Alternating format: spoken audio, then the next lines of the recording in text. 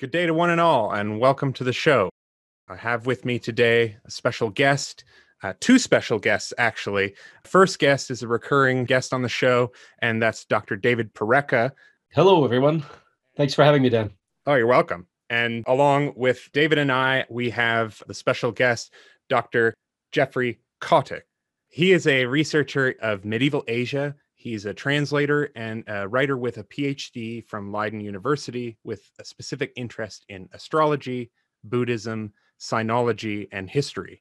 And today we're going to be talking about cross cultural currents in astral magic with a focus on the Asian continent for a change. Since so much of my own work is focused on the Latin West, I figured it would be a good time to mix things up and get some other people's perspectives on these currents.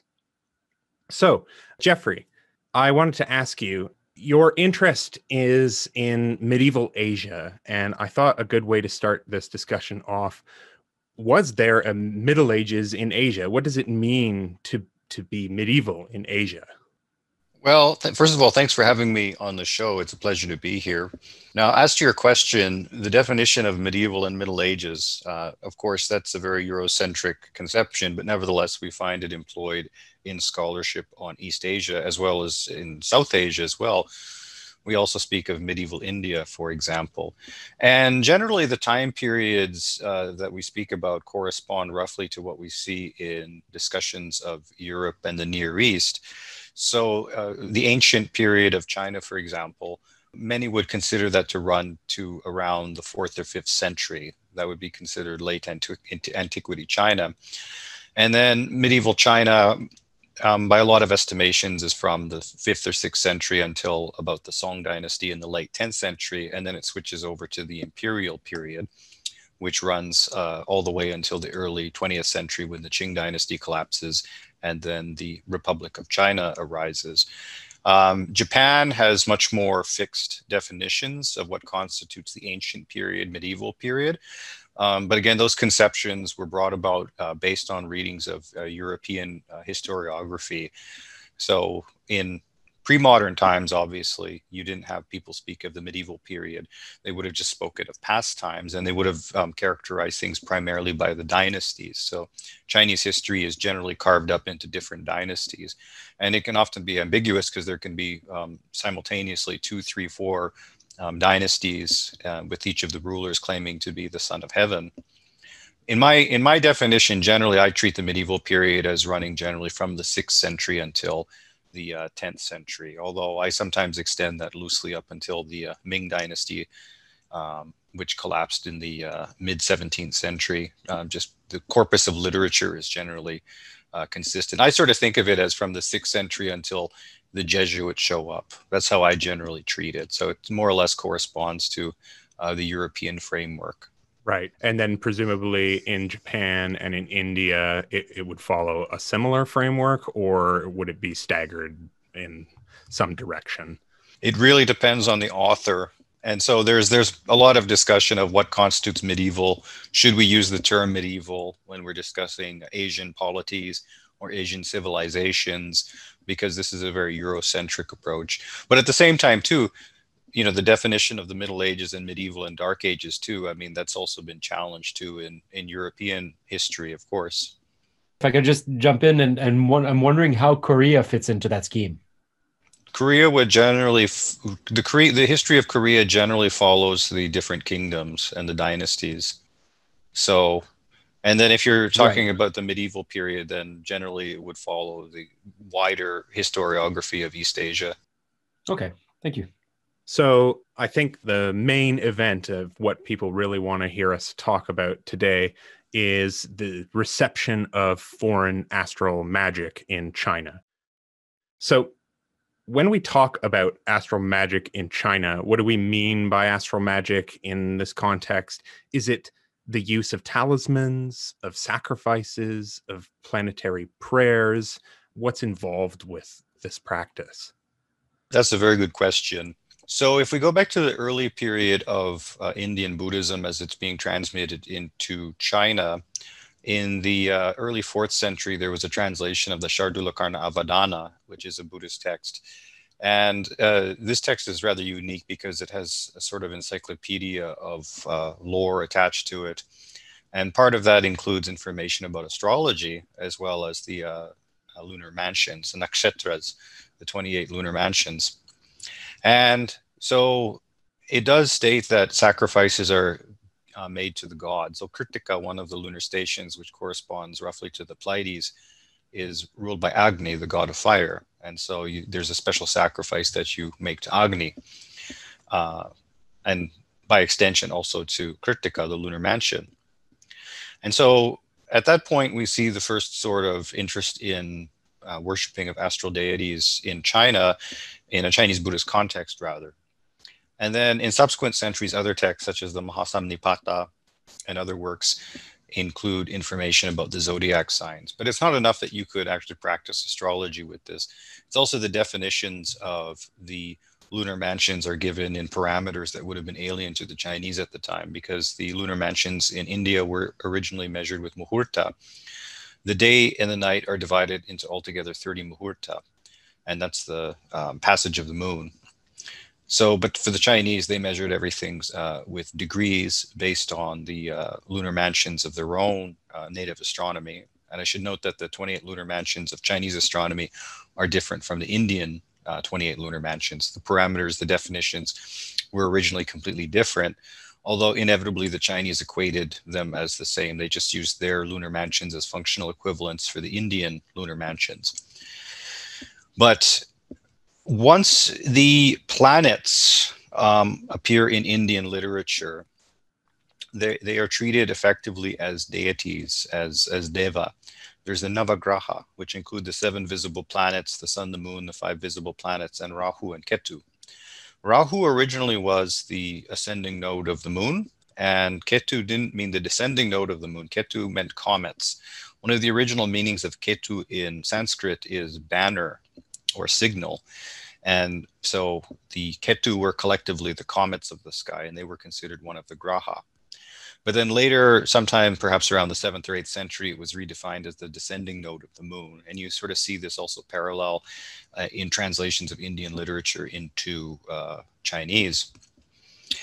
And so once you have the introduction of esoteric Buddhism, which in the West is often known as Vajrayana esoteric Buddhism, and uh, so this sort of system of Buddhism is different from earlier traditions because it relies heavily on the performance of rituals, the production of mandalas. Those are illustrations of all the deities in a systematic fashion, as well as mantras, uh, incantations uh, that you recite, such as Om Mani Padme Hum, as well as mudras. These are hand gestures. So you have this large ritual theater that uh, is uh, codified in these scriptures and you have to execute it according to a specific time.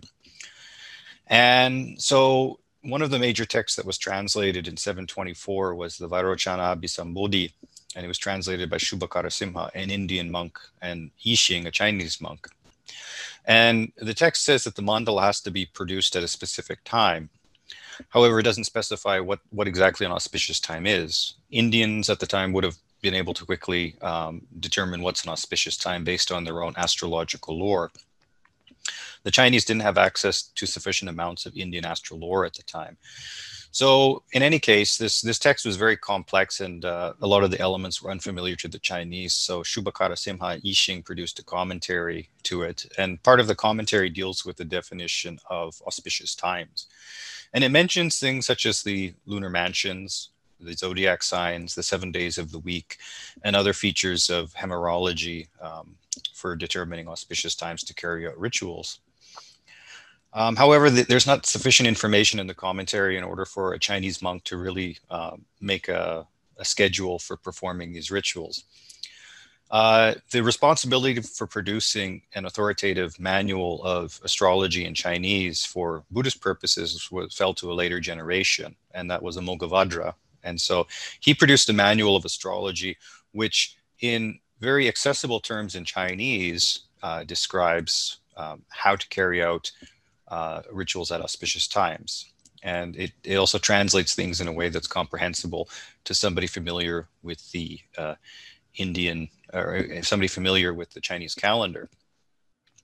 But this text also says that you can also um, carry, you can also recite certain mantras and carry out certain pujas, that is to say, rituals, when things are inauspicious. And it also goes into natal astrology to some effect as well. So we'll say that an individual born under this lunar mansion at this certain time might face various obstacles or misfortunes, and they, they can um, recite mantras and carry out pujas to alleviate those forces, those influences.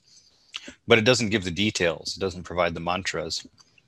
Nevertheless, uh, around the same time, too, you have Indian monks translating into Chinese uh, various other texts that actually do start giving you the mantras. And it does describe the pujas, the rituals that you perform when the lunar mansions and the planets are inauspicious. And so this sort of becomes a, a, a, a uh, widely practiced uh, form of astral magic in China. So this is around the mid 8th century to late 8th century.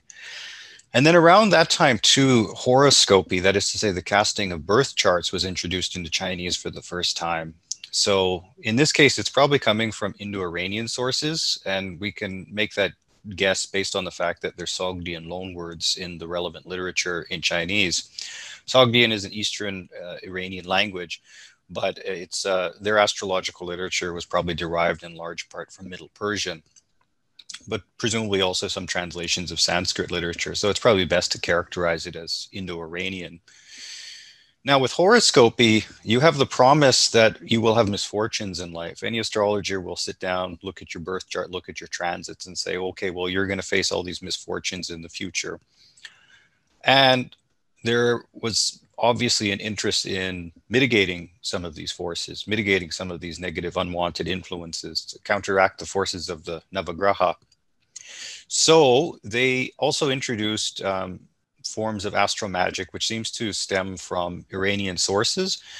And these are basically um, I guess you could call them just rituals and prayers directed at the planets. There's no production of talismans per se, but there's pr production of icons. So, for example, there is a uh, widely attested ritual uh, to Saturn, and you have to cast his image with the iron made from a plow. And so, hmm. Saturn is associated with agriculture, so it makes sense to produce this uh, this image of Saturn from plow iron. And you have to do it at a specific time. And you also have to burn a specific type of incense. In Chinese, it's anxixiang, which um, there's two definitions of that. One of them is um, styrax benzoin, which is imported from Southeast Asia. And then the other one was would be um, gugulu, which is a uh, resin from India. Interestingly, in the Picatrix, it also says that you can burn um, um, styrax, although it's not the same styrax as what you find in Southeast Asia. The type that's found in Southeast Asia is often called styrax today, but it's not the original styrax from the Near East. But Picatrix also says that you can burn um, bdellium, which actually is the uh, Latin name for the Indian gugulu.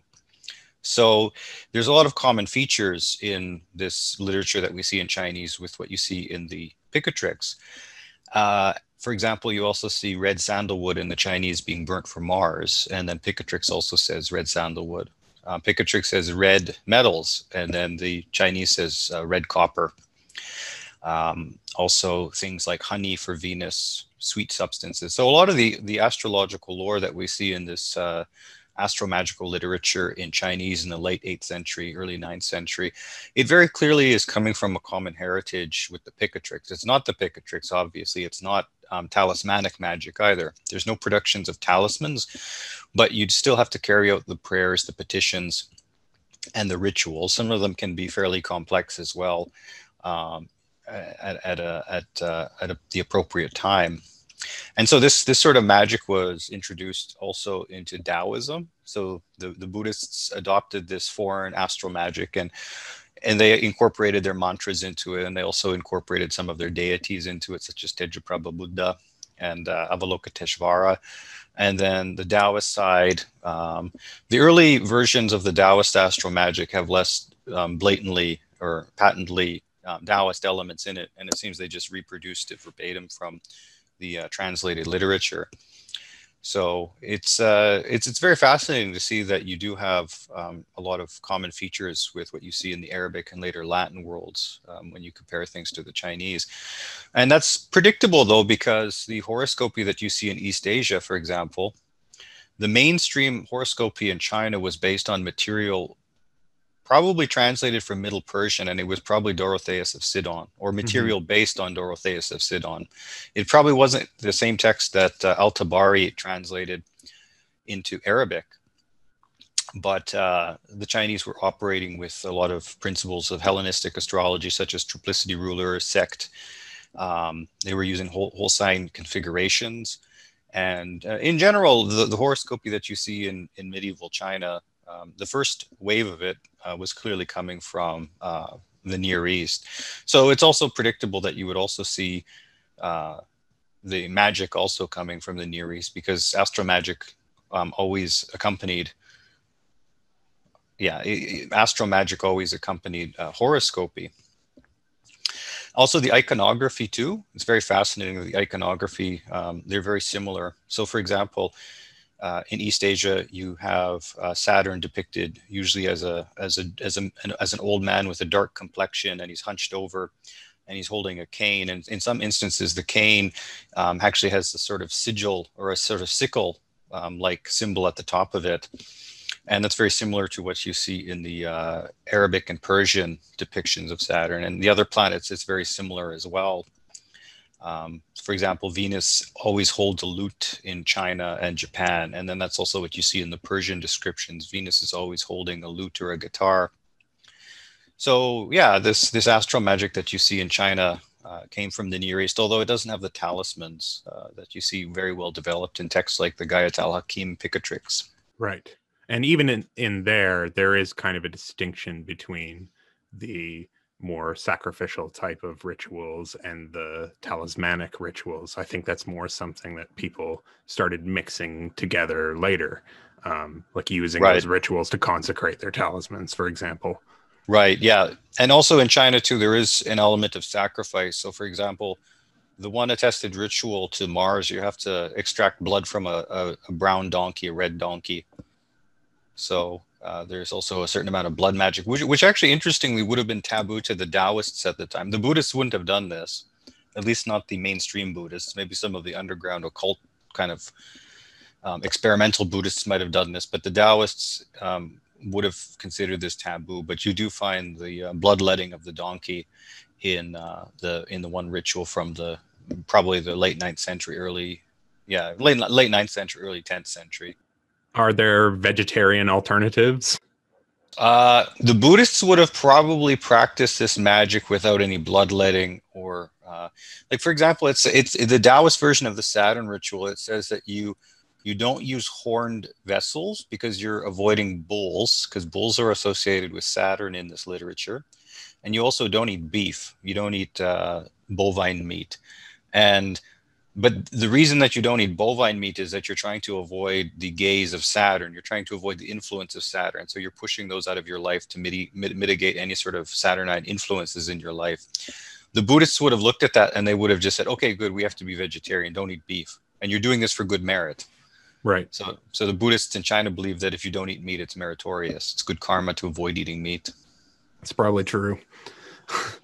Now, uh, what about the Confucians? How do they fit into all this? Do we have anti astrological polemics from the Confucians, sort of in the way that we would have from, say, Stoics in the West? The the native tradition of Chinese celestial omenology is very old. It goes back to like like deep antiquity.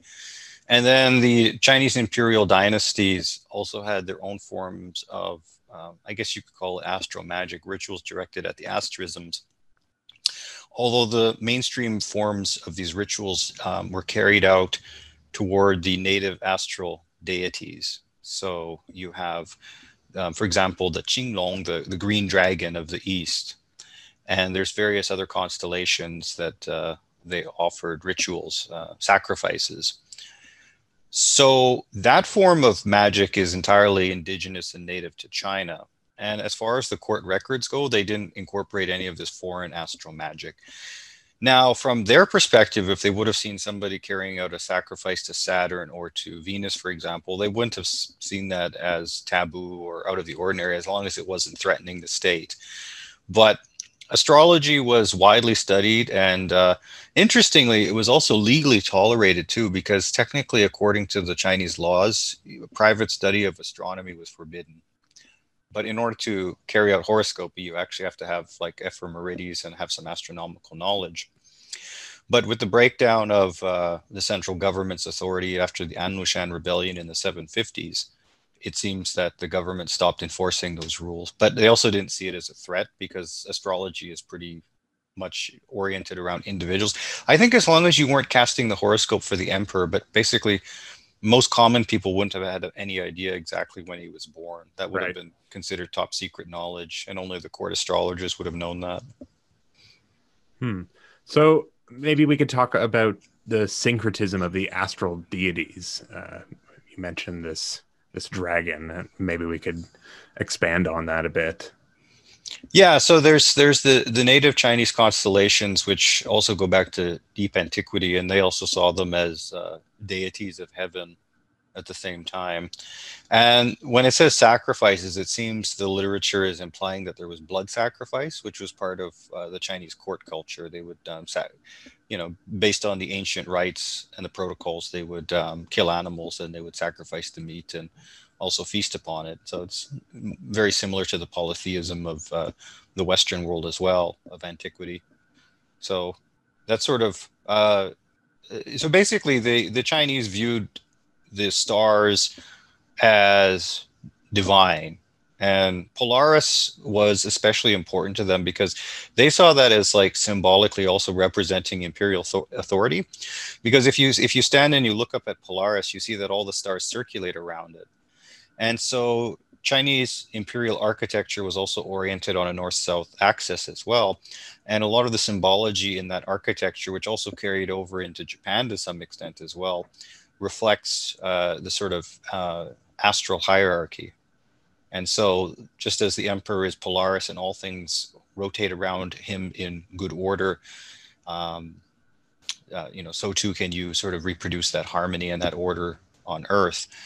And Chinese celestial omenology, which is strictly concerned with the uh, well-being of the nation, well, well-being of China, not so much other nations, um, it also goes back into deep antiquity and it was very well developed over the centuries. And so whenever there was sort of anomalies in the sky, in particular comets, but other things too, so falling stars, meteorites, and so forth, that was interpreted uh, based on the established canonical lore. So the Chinese Chinese imperial authorities took celestial omenology very seriously. And it seems too that toward the ninth century too that there was an interest in horoscopy because horoscopy, unlike native Chinese um, omenology um, can predict the, the future of individuals. So that would have been of interest to court officials, the emperor, and other people as well. Did these questions about determinism affect philosophy in the same way that, that it was affected in the West, where people began to criticize astrology because it infringed on free will? Is this is this an issue that we can see uh, across the Eurasian continent? Well, there was challenges to the legitimacy of astrology in India, but that's separate from what you see in China. The Buddhist tradition, as I've pointed out in a paper in the Journal of the International Association of Buddhist Studies, JIABS, I pointed out that basically Buddhists from very early on, early literature until the end of Buddhism in India, always display a sort of passive interest and acceptance of astrology, which is interesting because you also have the law of karma that your future and your future lives and your well-being um, is all determined by your actions. It's up to you. So how exactly does astrological determinism work with that? And effectively what i point out is what i point out is that um, there was still this sort of passive belief in astrology it's just sort of an environmental factor that buddhists believed in and there was only a few isolated cases of Buddhist literature that actually criticizes astrology. But when you look at the Chinese literary record, there seems to be almost no serious criticism of astrology in the medieval period, and there was less discussion about free will. My impression is that, unlike in the Islamic and Christian worlds, the whole issue of free will was not a, an issue in Chinese philosophy. Um, it wasn't an it wasn't an issue for Buddhists or Taoists either, because the whole idea of fate is also an important element in Chinese philosophy from early on. Like Confucius talked about the nature of fate as well, and that you know things are just fated to happen. So they avoided absolute determinism because they did believe that there were means you could undertake to alleviate or to mitigate uh, the worst of prognosticated disasters. Um, so there was just sort of a passive acceptance of astrology as far as I can tell. And I haven't actually seen any sort of critical discussions of, or even discussions where the author is trying to metaphysically explain the purported efficacy of astrology. There's just none of that. I, I just don't see that. There was just sort of an acceptance amongst people that it works. Right. There's no Plotinian debate about whether stars are signs or causes. It's just they, Some, they somehow it works. Somehow it works. It works. Yeah. And I, I generally they would have perceived it through a polytheist lens because the planets are depicted usually in anthropomorphic forms. So they're gods and goddesses. And you can you can somehow interpret their influence on your life through um, reading the stars, but also the days of the week. So when the, the seven day week was introduced into China, it became mainstream in the eighth century they just saw it as like, okay, well, so on this day of the week, um, so um, Mars is active. Mars is this today's a Martian day, so Mars is is the Mar, Mar, Mars is is is active in the world today, and so you avoid certain things and you do other things. So did they use the system of Ptolemaic dignities or not at all? Well, Ptolemaic astrology was only introduced with Islamicate astrology in the late 14th century. Okay. So the astrology that we see in China from around the year 800 is more or less based on Dorotheus. So you do have, for example, the triplicity rulers, the terms, etc., um, the decans, etc. That's that's all there. Um, but uh, you don't see Ptolemaic astrology into the late 14th century. And even then, although it was translated as the Al-Madkhal, um, it didn't seem to have made a very big impression on Chinese uh, horoscope because in the subsequent centuries we see very large texts on horoscopy, and I've started to excavate some of these, like for example the work of Wan Minying, and you see some sort of vestiges of the Al-Madkhal in Chinese translation being reproduced in the Chinese horoscopic literature, but the Ptolemaic worldview wasn't adopted in the Chinese world until maybe the 17th century, when you have the Jesuits translating uh, basically um, the condensed forms of the Tetrabiblos into into Chinese. And it's interesting because they had to uh, sort of interpret things through this Ptolemaic uh, lens. So they would use the Chinese vocabulary to describe like you know moistness and humidity, hmm. etc. But that sort of worldview of the planets never became mainstream. They just continued, I think, viewing even after the Al-Madkhal was translated, they just viewed the planets as gods and goddesses. Did they try to hook it up to to Chinese medicine and do these sort of one to one elemental correspondences and things like that? In, in a nutshell, no. But uh, now this is interesting because I did publish a paper in Asian medicine, and I the whole t- idea is that astrological medicine was practiced in China and because you can actually tell based on what the astrological literature in Chinese is actually saying, it's it's predicting illness and it's also diagnosing illness uh, based on people's birth charts and their and the transits of the planets based on their birth charts. Now, when I submitted that paper to the journal, I got two peer reviews. One of them was positive, and the other one was very negative. Hmm. They didn't think astrology belonged in this journal at all. This peer reviewer pointed out also that uh, this astrology never had any sort of discernible impact on mainstream Chinese uh, literature dealing with medicine. And that's perfectly valid. That's actually correct. But what I point out, though, is that there's still astrologers practicing medicine, even if it's fringe, even if it's not considered orthodox medicine, it's still being practiced. And we should recognize that this form of healing, this form of diagnosis was still being practiced, even if it wasn't considered medicine um, by the Orthodox authorities at the time.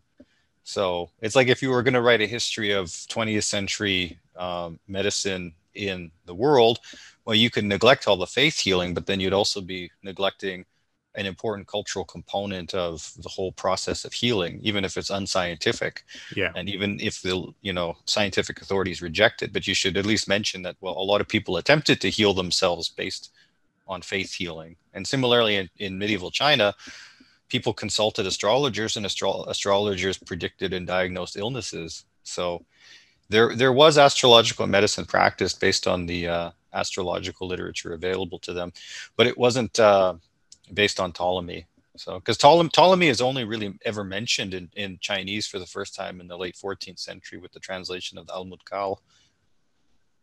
Right. And Abu Mashar, uh, also probably just as obscure. You know, the, the astrological authors that, that you would be familiar with if you were in the uh, Islamic world or the Latin world, uh, those would have been all unknown in China because the literature what happened in China too was that the early horoscopic literature was translated, and the original authorship and origins of a lot of it was lost. Mm. It was hmm. for I wouldn't say lost; it was just forgotten. And some of the attributions are very curious. Like it's just some some nebulous um, Brahmin from the western regions came and introduced this literature, which is just probably a cover story for um, the original translator who probably didn't want to identify himself for whatever reason. Or it was i think in some cases too there was just a commercial motivation too. And we only have so many manuscripts available to us of uh, the astrological literature of the uh, late tang dynasty in the 8th 9th century. So a lot of that literature too is limited and we're only probably looking at a small fraction of what was available and but even then the sort of it was it was often treated as a utility too so people would just recopy the material, but they might not include the uh, original, um, the, original colophon, the title, the authorship, and everything. They just took what, what they needed from it, and then you know passed that down, and then people would recopy the same material, and then you you end up with this sort of uh, uncertain line of transmission over the centuries. So, did any of the more philosophical or theoretical material that usually comes along with the magic ideas like the hermetic perfect nature or the overarching structure of platonic cosmology how did these ideas interact with the cosmologies of the dharmic religions if at all there was virtually none of it yeah it's interesting because uh, that's a very big difference between the astrology of east asia and west asia is that the east asians treated astrology as utility and the magic was seen as perfectly practical. Um, for example, you know, Saturn is making this very harsh transit on your chart in the um, upcoming year or next three years, right? So you carry out this puja regularly, and it's just to mitigate the influences of Saturn in your life. The Buddhists would have saw astrology as, as practical in your daily life, and but as far as liberation and liberation from samsara, liberation from suffering, and the attainment of these higher states like Buddhahood and so forth, astrology is, is less important for that. From the esoteric perspective, you have to carry out the rituals at astrologically auspicious times, but the um, actual liberation from samsara doesn't include any sort of astrological components.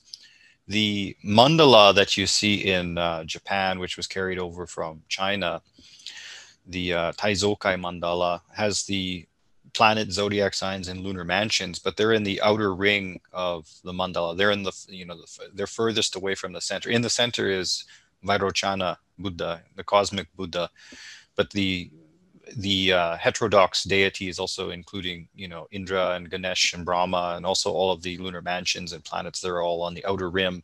So they're part of that cosmology but they're not key to um, liberation from samsara. Hmm. and then presumably can liberation come about through bhakti? Because there is you know dedication to certain gods.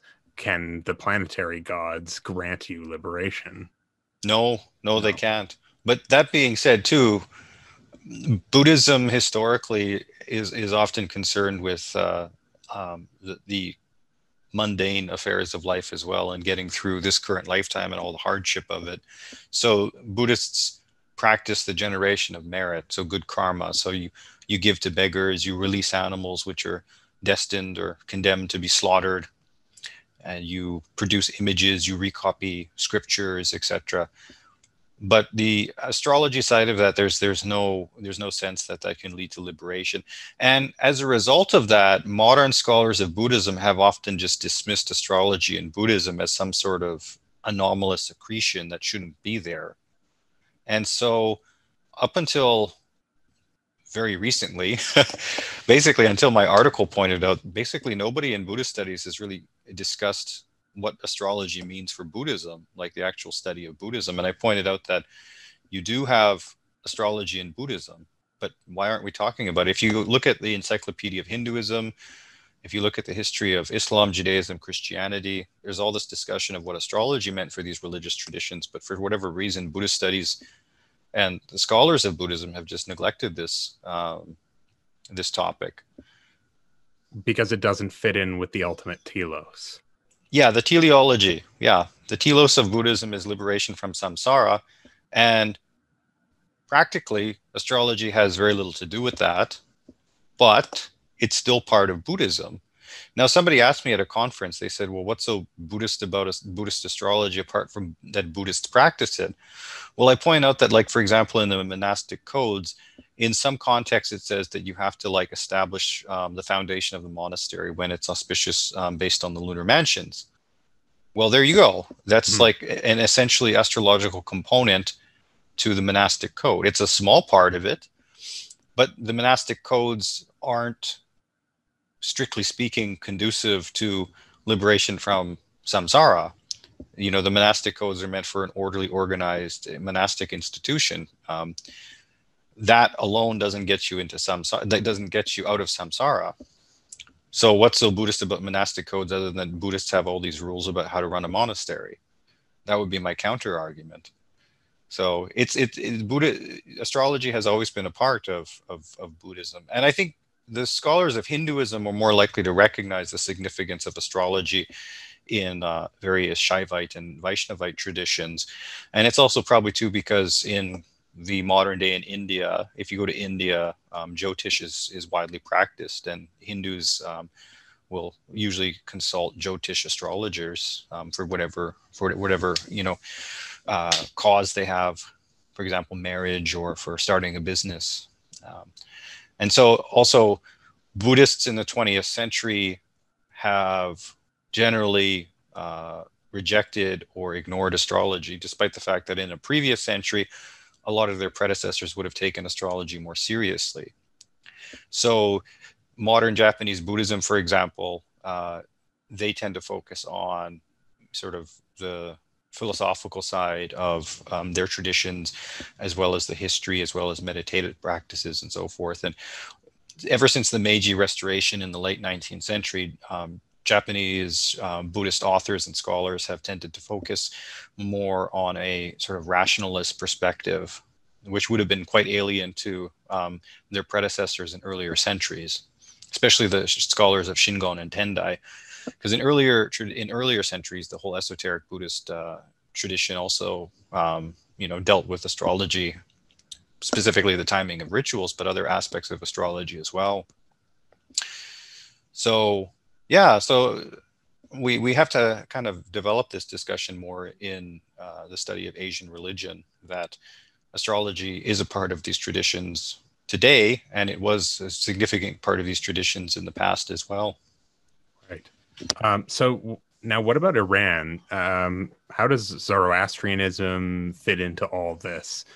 Uh, I don't know if it's if this is a correct assessment, but I get the sense in Zoroastrianism that all the planets are essentially malefics. There's just yeah, that's all, that, that's true. That's true. They're all out to get you, and you kind of get a glimpse of that in Abu Mashar. Um, but I wonder to what extent that idea spreads eastward. So the foremost authority of Zoroastrianism that I know is Antonio Panaino at University of Bologna, and I've uh, read his work in detail. And as I understand it, yes, the planets are understood as demonic because they don't follow an orderly course of motion. Uh, the fixed stars, however, are benevolent and they're associated with Ahura Mazda. Uh, so the planets are considered demonic. Now, what's interesting too is that the planets are still named after the chief deities of the Zoroastrian pantheon. So Jupiter is Ahura Mazda. Yet Ahura Mazda is treated as a demon. What that goes to show you, though, is that there was multiple transmissions, reinterpretations of astrological lore in Iran over the centuries. So probably early on, the form of astrology that reached Iran was Hellenistic, and so they probably just um, adopted Hellenistic astrology um, in its in its uh, form at the time, and so they would have named planets accordingly after uh, after their deities. Well, it probably would have been earlier than that. I mean, the Zoroastrianism would have inherited the astral pantheon of the um, Mesopotamians. So you know Marduk in uh, the Mesopotamian religion is Jupiter. Mm-hmm. But but then late in later centuries, when Hellenistic astrology is being developed, that also was transmitted into Persian, um, possibly as early as the Parthian period. Although it's interesting because there one, one could also surmise that because there were so many Greek speakers and lit, people literate in Greek and Greek learning in the Iranian world, both in the Parthian and Sasanian periods, that there was probably a, a certain degree of like astrologers operating in Greek at the time.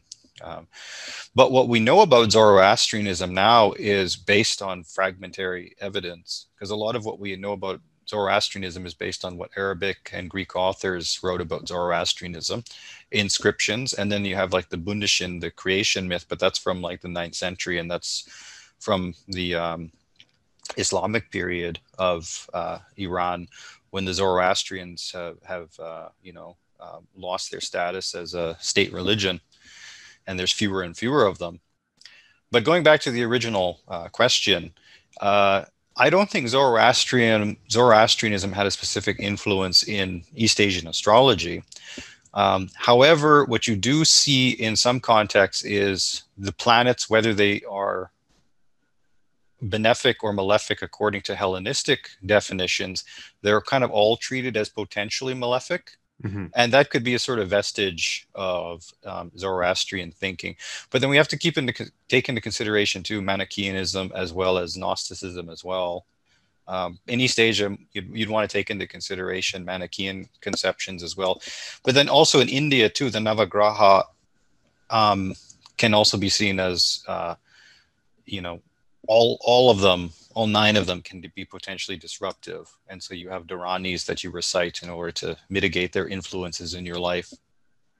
Uh, could you talk about the Manichaeans? Because uh, as far as I know, even up until the 20th century, there were l- laws in Chinese uh, or law codes banning the Manichaeans, um, and in Vietnam as well, if I'm not mistaken.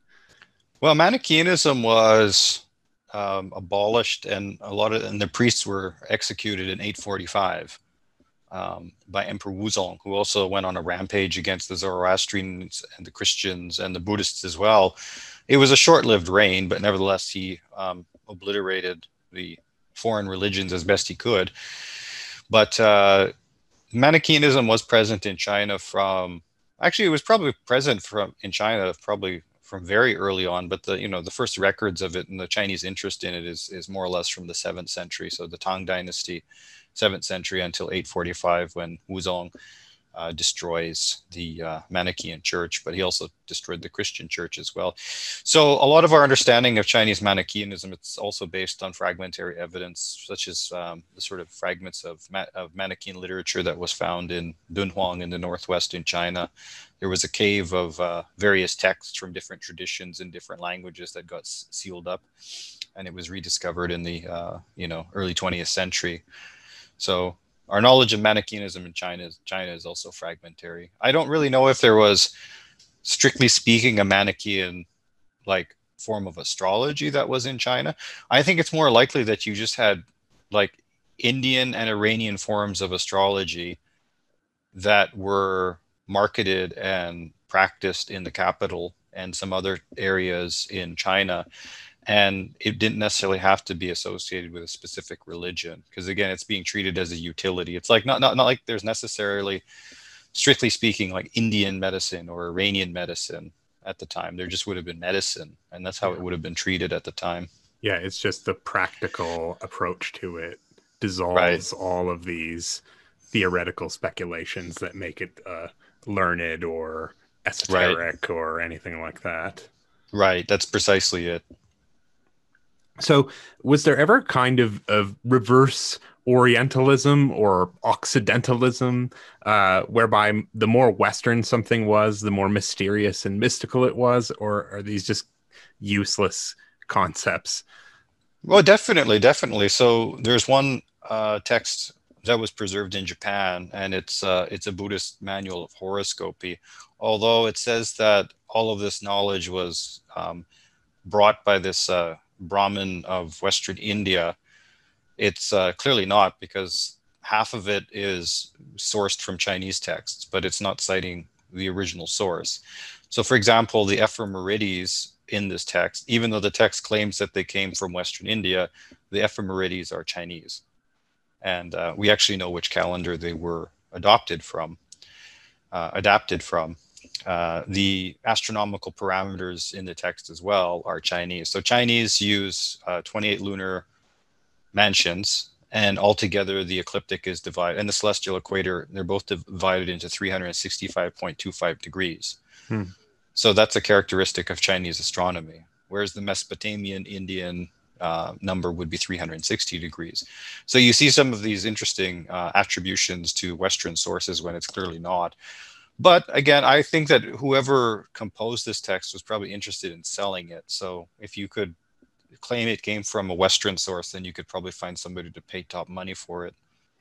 Right. Just like in the West, you could say the same about the wisdom from the East. And in in Tang China, in Tang Dynasty China, there was definitely um, an interest in in things from the West, and uh, you know the caravans, the monks, the clerics, all these different people coming over. There was people who had money would spend top dollar to get access to these people and things, especially things like uh, various aromatics that uh, weren't available in China, um, medicines, and then also things like astrology, any sort of uh, rare Buddhist texts that hadn't been translated yet. These sort of items too would have been um, very commercially valuable. So, historiographically speaking, what's the role of David Pingree in all of this?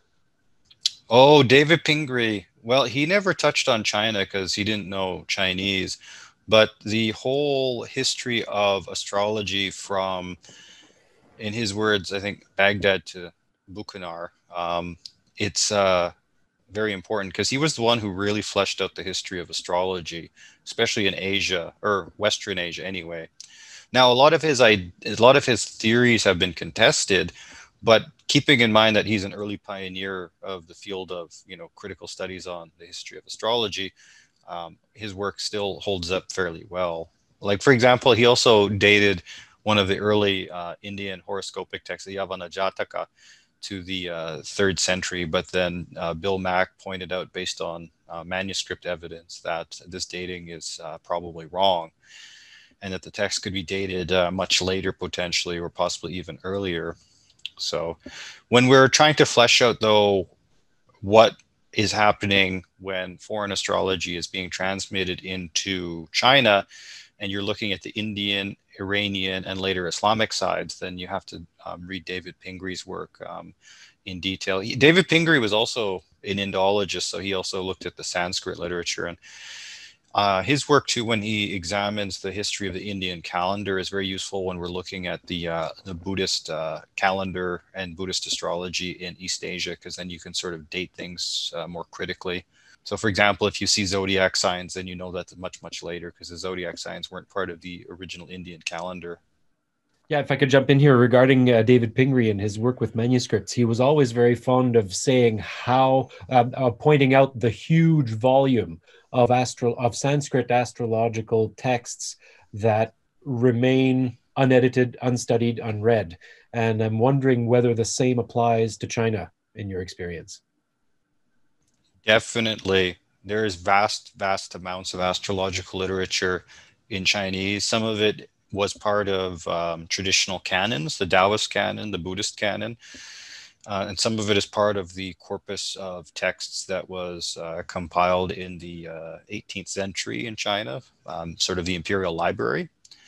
And uh, there's, so for example, there's the literature on horoscopy, which is quite extensive. And then there's also the literature from earlier centuries that deals with court omenology. And that's, that's barely been touched in European languages, more so in, in modern Mandarin, but then it hasn't been really studied as a as a field onto itself. Um, and although I guess the main difference would be that in China, a lot of this, a lot of these texts are part of sort of official libraries and and corpus corpuses of texts. And so there's sort of like old typeset editions of them, or there's woodblock prints of them that are you know widely available. Whereas the Indian side, there's a lot of manuscripts which are still like paper manuscripts that are like hundreds of years old and often they're not in the greatest condition and you know you have to treat them with great care and try to photograph them in order to preserve them for the future. So there's there's definitely a lot of literature. Astrology is one of these fields that has been neglected by the modern humanities because you can't really fit it into science because the scientists don't want anything to do with it normally the religious studies people don't think of it as religion. And the theologians don't want to deal with it either. And then you can't really fit it so much into history either because it's it's very technical and it's dealing with things that aren't directly related to historiography. So i'm hoping that in this century you know scholars such as myself and you and other people as well can sort of create a sort of field onto itself the sort of scientific academic study of the history of astrology. Because there's a lot that can be said about the cultural cultural transmission lines and you know interactions between different peoples of different languages different religions over the centuries.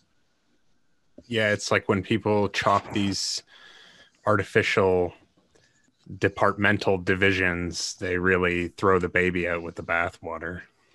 Right. Like could you imagine if you went to a religious studies department and you said i want to have intro to classical astrology as a course here and i'm going to teach it?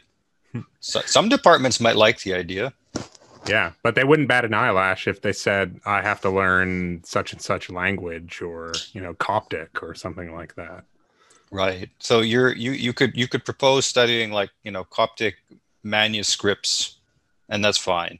But if you want to do classical astrology, I think a lot of I think the animosity toward astrology though is also just a reflection of um, the widespread prejudice against it. It's something that both like highly religious and highly science oriented people both seem to hate. So Richard Dawkins bashes astrology, but then the theologians as well will bash astrology. So how does uh, astrology sit currently with the Communist Party? Oh, well, they don't really seem to see it as a threat. They just sort of, I think probably they just sort of see it as a harmless superstition. So astrology in, in China, there's widespread interest in it today as well. It's widely it's widely marketed online too. I have a friend actually, professional Chinese astrologer, and she seems to make good money off of uh, doing uh, the charts for her clients and interpreting them. They don't see it as anything that would be subversive to state interest. And then in Taiwan, where they have religious freedom guaranteed, there's all sorts of divination, every conceivable form of divination available. So, it, just in, in terms of uh, survival of manuscripts, I had a bit of a follow up in terms of how, uh, by your assessment, how bad was the damage done by the 1966 to 76 Cultural Revolution in China to the survival of these materials? The astrological literature, I can't say with great certainty. The texts that were preserved in official libraries and corpuses of texts which would have been reproduced you know hundreds at a time as woodblock prints even thousands at a time those i don't think were ever lost. However we do know that during the cultural revolution that you know they would go into some of these uh, buddhist monuments and uh, take all of the old sanskrit texts and throw them in a pile and burn them. We don't know which texts those were necessarily because they hadn't been um, documented or or at least the documentations relating to them weren't preserved so we don't know which ones were in those uh, monuments at the time. There could have been some astrological texts um, that also got torched but we don't know for sure. Okay so i just wanted to ask you if you had any thoughts on current projects and so what are you working on now? Do do you have any projects on the horizon that you wanted to talk about Sure. Well, my present project right now is looking at medieval Chinese accounts, secular and Buddhist, of foreign polities. And I'm interested in what the Chinese knew about the Sasanians in particular. I'm also looking at India and also the early uh, caliphates as well. And so this also includes, uh, you know, the history of diplomatic relations, trade relations, and then also by extension to knowledge transfer, both astrology and medicine. So I'm excavating all of this material and looking at uh, various sources. There's a lot that can be said about the Chinese relationship to the Sasanians. Often people talk about how the Peroz, after the collapse of the Sasanian dynasty, fled to China. That's very well known. But then there's a lot of other things that are said about the Sasanians and the early caliphates that have haven't really been discussed in uh, modern scholarship. But in the future, what I would like to do is get collaborations between scholars of different traditions of magic and astrology, um, specifically in the medieval period, and really start to collaborate and try to establish the common heritage.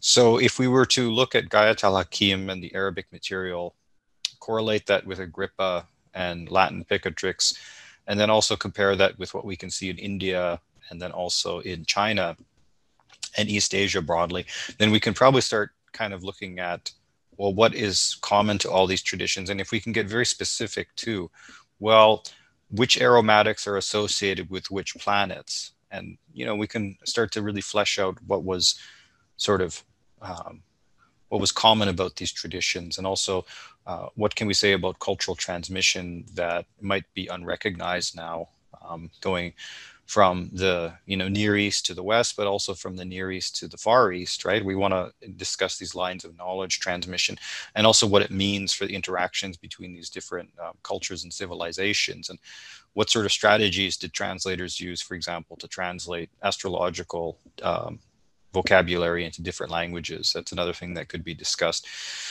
So ideally, in the future, we could maybe get some sort of government-funded uh, project that would look at um, this topic in, in great detail and bring together scholars from different uh, backgrounds to discuss these matters.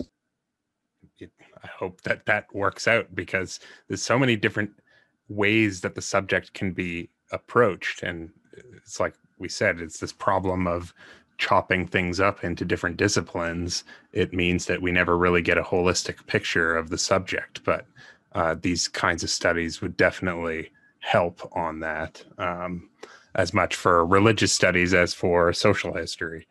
Yeah, social history and also history of science to some extent too, because you could look at how, um, you know, different traditions approached some of the more scientific aspects of the astronomy involved. Um, those sort of features too would be interesting to to track and to trace over the course of time. And I think it would, it's just fascinating subject as well but as I said, it's it's hard placing the history of astrology and also magic into any sort of existing framework. Religious studies, I've argued that uh, we should just treat astrology as religion, and just then we don't have to try to argue that it's science or that it should be treated as science. But then again, you end up will get you'll end up with a pushback from people more oriented toward theology, and they would say, well, astrology is not religion yeah, even though Augustine and all of the most important theologians all dealt with it. Right. And then in their argument would be that, well, it's an anomalous accretion and it's not inherent to the tradition. So therefore, we don't have to take it um, that seriously. Yeah. Which is. But then if you, but then you look at the Syriac literature that I've looked at in translation, I'm like, there's a lot of astrology in, in this literature, like the, the book of medicines, for example. Um, so it's like, you know, there's, discussions of God in it, and then there's also discussions of astrology. So clearly, it was important to them as well. Yeah, for Ficino, definitely astrology was just part and parcel of being a priest and a philosopher. It just was something you did because that it was part of medicine and right. if you're a proper priest then you're also a healer and and a healer is a an effective physician who needs to make accurate prognostications and choose proper elections for treatments and things like that. So I think I think one of the hardest problems of uh, modern scholarship is that we don't necessarily distinguish between prescriptive and descriptive. Yes. So often when you're reading, for example, about a given religion, what you're reading is a prescriptive form. Like this is what the religion is supposed to be according to the scriptures and the authorities. But then there you could have a descriptive where, well, this is actually what people do. It's like if you were to do a description of, um, for example, Buddhism. Like you know, if you if if you read the Buddhist scriptures and the monastic codes, well, then you'd have this impression that you have all these neat, orderly monks who, you know, don't look at women and they're completely 100% celibate and they don't touch gold and they walk in an orderly line and they barely ever speak and they meditate like 13, 14 hours a day. you know, just like the Franciscans in the in right. the 15th century. Yeah but then if you look at the actual record of buddhists for example in, in, in india you see that they're money lenders they're running caravans they're married sometimes their wives live with them. It's like it's a very different world from what a lot of modern scholars have painted. You get the impression that like you had all these buddhist monks were like you know philosophers and uh, you know, sitting in this sort of countryside in front of stupas, preaching the Dharma to these, you know, students and lay people. But you find that no, they were lending money to people, and some of the the uh, authors of drama and even some of the critics of Buddhism too, they're like pointing out that Buddhist monks in monasteries are flirting with the maids. That makes me think of Erasmus's In Praise of Folly, which is just all about the monks of his own day and how they're all fat and drunk and they divert money from the actual poor people right. and great criticisms all around. And that could, I mean, it's just as applicable as it then as it is today as well. Like, yeah, you know, if you if you go if you go to a church, they'll give you like a manual on what they're supposed to be, right? But then that's very different from how people actually are. Mm-hmm or even who wants to be around those people you know if you're right. totally unapproachable then you're going to have a hard time finding new recruits. Right right. Well it's also i mean you have to take i think we have to take into consideration you know social class and uh, like for example if you're like an eminent monk at a major indian monastery in the medieval period you might be a prince even right? Mm-hmm and you have a bunch of girlfriends, you think they're going to kick you out of the monastery? yeah, you, they need you, that you, endowment. They not just the endowment, but it's like yeah, there could be retribution if you uh, if you kick this guy out of the monastery. So historically, I mean, I, I I've I've seen it in the modern day as well in my travels and my experiences as well. There's there's what people are supposed to be doing according to their religious scriptures, and then there's what people actually do. Yeah. And what what people actually do is is just regular human consistent behavior. Yeah and then life comes out somewhere squeezed between that matter and that form.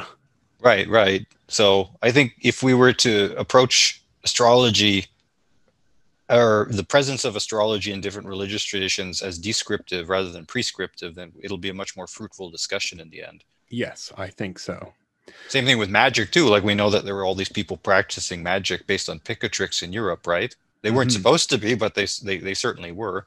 Exactly. And whether people were supposed to be or not supposed to be within the Arabic world is like a whole other can of worms. Right. And well, you see the sort of like attempts at legitimization in the Gayat al Hakim Picatrix, like in the name of God, for example, or you see the expressions like God wills it and so forth. Right. So trying to make it le- legitimate within that religious orthodoxy. All right. So I think this is probably a good place to wrap things up. I was going to ask you if you could list some places to uh, for people to check out your work. Sure. Well, the first place you can go is academia.edu. I have a lot of my publications on there. Uh, you can also look at my Twitter feed, and I um, post updates on my work there. If you want to, you can also look me up on archive.org. I have a lot of things uh, uploaded there that you can download without registering. You can just grab the PDFs off of that. And uh, I should have a book forthcoming, um, hopefully by published by Brill sometime this year or next year. Nice. So, so I'm looking forward to that. That'll be titled, probably titled uh, Astrology and Astro Magic in Medieval East Asia, something like that. Will it be made of solid gold? I hope so. Well, it'll be priced as such. Yeah. it'll be it'll be priced like most Brill books. I saw that uh, they had some sort of Christmas tree that they were building, and they they made this Christmas tree entirely out of Brill books. And I'm thinking like that Christmas tree is probably worth something like a hundred thousand dollars. Yeah, probably. Well, the good thing with Brill though is that those publications are immortal. Oh, and they're great. They're it's also best. that yeah, and Brill has been around for a long time. It survived the occupation in World War II and uh, economic upturns and downturns, and it's still kicking it. So it's if if you publish with it, it'll still be available 200 years from now. It's also the first thing to go on to the uh, special websites made by the special people. Yeah, that's also because if you have a subscription, they let you download PDFs. right. Actually, I think Brill probably makes most of their money nowadays, probably from like university subscriptions to Brill Online. That's that's my guess. They make a lot of these like Oxford, Cambridge, and so forth. They probably make a lot of money just off of uh, university subscription. So the piracy doesn't really put a dent in their final profits. All right, so that's probably a good place to stop. Thank you for joining us. My pleasure to have you back on sometime in the future. So thanks a lot. Thanks so much.